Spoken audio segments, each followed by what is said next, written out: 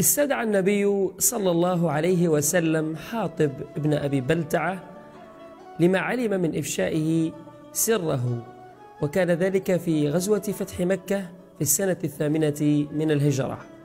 فقال له يا حاطب ما حملك على هذا؟ فبدأ حاطب يذكر الأسباب.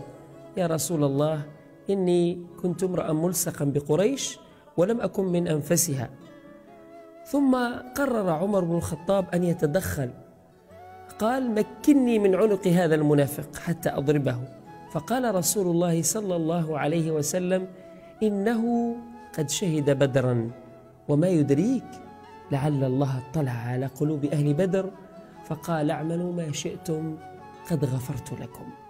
النبي صلى الله عليه وسلم بفنونه التعاملية الراقية يبين أن الأساس في تقييم الأشخاص يكون على مدار السنوات. ليس موقفا واحدا نحدد تعاملنا مع الآخرين من خلاله.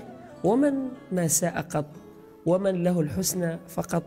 وإذا الحبيب أتى بذنب واحد جاءت محاسنه بألف شفيع. فحاطب ابن أبي بلتع من أهل بدر وله مواقف عظيمة في نصرة الإسلام والمسلمين. وإن أخطأ في هذا الموقف فإن ذلك لا ينقص من قدره.